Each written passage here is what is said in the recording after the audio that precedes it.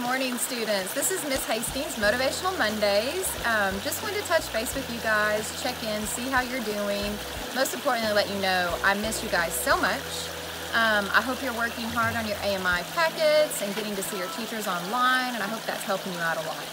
Wanted to pass on a couple of things that have been helping me um, during a time where I miss my students, um, I miss being at work, um, and I miss my coworkers. So when I start to feel anxious and stressed, I get outside. I get some sunshine, I get some exercise, I go for a walk, a run, a bike ride, I feel the gentle breezes, I come sit here by the stream, um, just spend some time in nature and I don't take my phone with me, I disconnect from technology. So that helps me out when I feel stressed and anxious. I want you to find something that helps you when you feel stressed or anxious. Um, I'd like it to be that you disconnect from any news, disconnect from your phone, um, read, listen to music, and if you're like me, get outside and hear nature, hear the birds, feel the gentle breezes, get some exercise, and get some fresh air.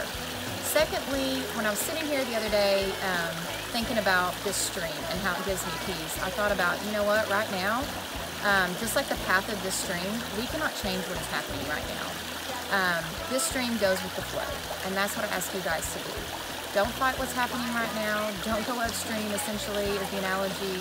Just really go with the flow, see where it takes us, um, and know that we're all in this together. We're all going to be okay, and I'm here whenever you need me via email. I can, if you email me, I can set up a Zoom with you. Um, just know your Central Junior High staff is here for you. So again, two things. Find something that gives you peace, you know, for 10, 15, 20 minutes to just recharge. And then think about this stream and think, I'm gonna go with the flow. I'm not gonna go up current. I'm gonna go with the flow and I'm gonna just really get through this time with as less stress as possible. Again, I miss you guys so much and can't wait to see you towards the end of this week for a fireside chat with Miss Hastings. So, hope you're doing well and look forward to talking to you at the end of the week. Bye.